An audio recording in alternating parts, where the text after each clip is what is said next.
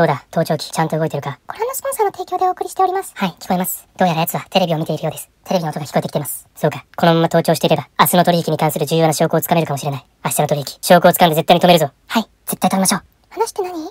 俺、ずっと好きだったんだ。付き合ってくれ。え？ずっと花のことが好きでした。付き合ってください。そうま。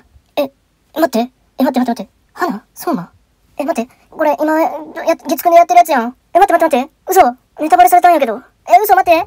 嘘やろ？俺まだ先々週分のやつとか見て、まだ見てないのに。録画して撮ってあるのに。今日のも録画して、仕事終わったら後で見返そうと思ってたのに。え、待って。ネタバレされた。え、そうま、花のこと好きやったん？めっちゃネタバレなんやけど、どうしよう。でも、相馬には彼女がいるでしょ？いや、実は彼女はもう、死んだんだ。えー、え、え、待って待って。え、待って、彼女死んでたん？相馬。てか、彼女おったん？相馬。え、この2、3話で何があったん？待って、家で一人で見たかった家でビールとか飲みながら一人でリビングで見たかったちょ、何、何されてんのこれ？あかん。やめようやめよう。聞くのやめよう。これもう無理や。先輩すいません。ちょっと変わってもらっていいですか？どうした？いや、ちょっと、もう僕聞けなくなっちゃったんで、ごめんなさい。変わってください。ダメだ。明日の取引がかかってるんだぞ。いや、でも、でもじゃない。明日の取引、絶対に止めるんだろ？あーはい。わかりました。花、やめろ。そんなことするな。相馬に関係ない。それを話せ。これは話さない。話せ。だったら相馬は、それを渡して。これは渡さない。花はそれを話せ。話さない。相馬こそ渡して。渡さない。話せ。話さない。渡して。渡さない。話せ。何？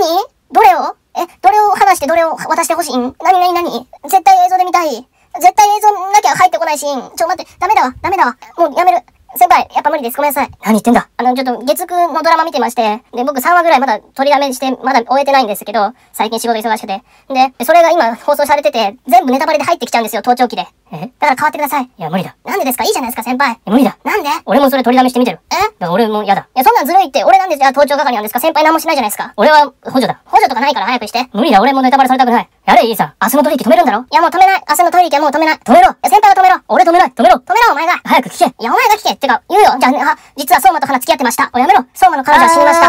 やめろって早く聞け。はい、お前やめろ。聞け、聞け。で、相馬がそれ渡せって言って、えー花が渡さないって言って、渡せって言って、渡さないって言って、おい、聞けや、おい。お前聞け。お前、おい、おい、ボケや、おい。お前聞けや、おい。じゃあもういいってマジで。こいつマジ、卑怯だって、卑怯だって。もうお前ほんと、